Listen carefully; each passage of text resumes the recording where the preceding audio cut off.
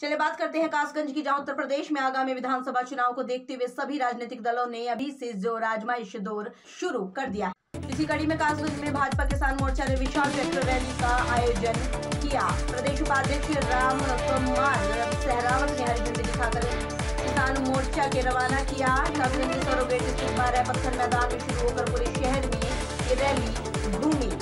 उपाध्यक्ष राम इस दौरान भाजपा किसान मोर्चा के प्रदेश उपाध्यक्ष राम कुमार शेरावत ने भी कहा विगत साढ़े सात वर्षों में प्रधानमंत्री नरेंद्र मोदी ने उत्तर प्रदेश के मुख्यमंत्री योगी साढ़े चार सालों में किसानों के हितैषी जो कार्यक्रम चलाए एमएसपी पर बड़े पैमाने पर की खरीदारी किया जाना कन्या मूल्य का भुगतान किया जाना, खरीदारी किया जाना, कृषि यंत्रों से सज्जित किया। उन्होंने कहा, विपक्ष के पास कोई भी मुद्दा नहीं है जिस पर वो लड़ सके। लखीमपुर खीरी में हुई घटना की जाँच के संबंध में कहा घटना के निष्पक्ष जाँच ट्रैक्टर कासगंज में है, सभी जनपदों के अंदर।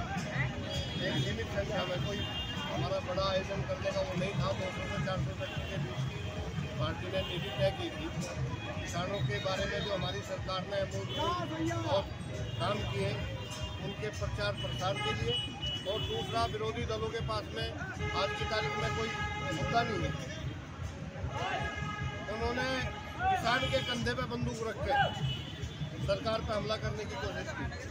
हम उन लोगों को मुँह तोड़ जवाब इसी मंच से देना चाहेंगे कि भारतीय जनता पार्टी ने जितना किसानों का काम किया, आज तक किसी पार्टी ने नहीं किया।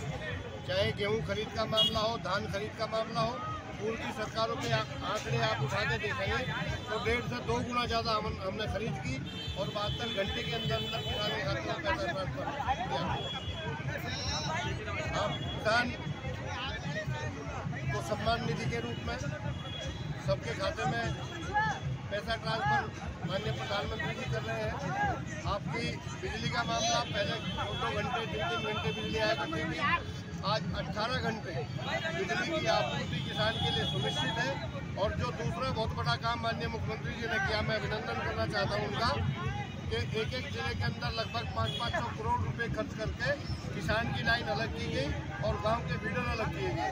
और उसके साथ में घोषणा की कि किसान को दिन के अंदर बिजली दी जाएगी। दिन में किसान अपने खेत का काम करे और साथ साथ अपना सिंचाई का भी काम करता रहे। इस तरह से आपका चाहे किसान क्रेडिट कार्ड का मामला हो, चाहे ट्रैक्टर पे खरीद, में जहाँ अपनी हज़ार रुपये सिक्योरिटी बॉन्ड में लगते थे, हमारी सरकार ने सौ रुपये के सिक्योरिटी बॉन्ड में लोन की व्यवस्था की।